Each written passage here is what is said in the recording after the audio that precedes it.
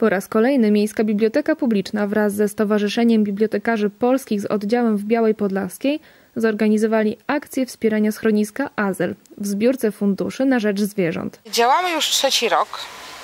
Akcja ma na celu yy, pomoc schronisku i, yy, co jest dla nas też mm, bardzo ważne i istotne, promocję czytelnictwa, bo książka w ten sposób dostaje drugie życie.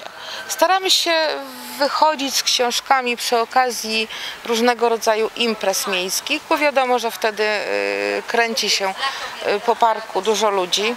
Pomysł zrodził się przy okazji Bialskiego Festiwalu Okołoliterackiego, którego gościem honorowym była Olga Tokarczuk, miłośniczka zwierząt.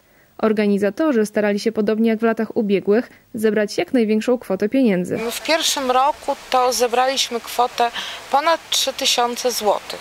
Z tym, że wychodziliśmy dużo częściej. Też przy okazji festiwalu była zbiórka właśnie do puszki.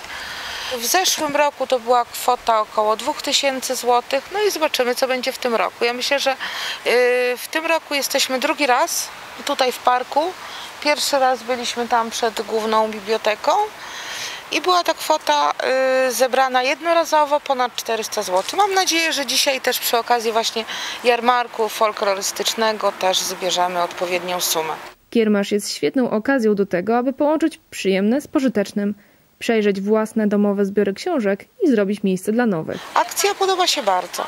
Mm, Bardzo chętnie ludzie przynoszą nam swoje książki właśnie na cel takiej zbiórki charytatywnej, jak również y, kupują. Przyciągnął mnie tutaj szczytny cel akcji. Bardzo się cieszę, że jest taka akcja, ponieważ można kupić właśnie tanio książki i wspomóc bialskie schronisko. Już jak e, kupowaliśmy tą książkę, no to wtedy e, panie powiedzieli, że, że to jest do celów charytatywnych i no, fajne to jest, że, że takie coś istnieje i przyda się tam. Wiele egzemplarzy książek tego dnia znalazło nowych właścicieli. Wybrałam sobie dwie książki.